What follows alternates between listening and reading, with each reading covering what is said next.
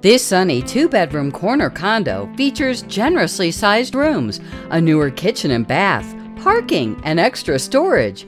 Joan Solomont is ready to show you around.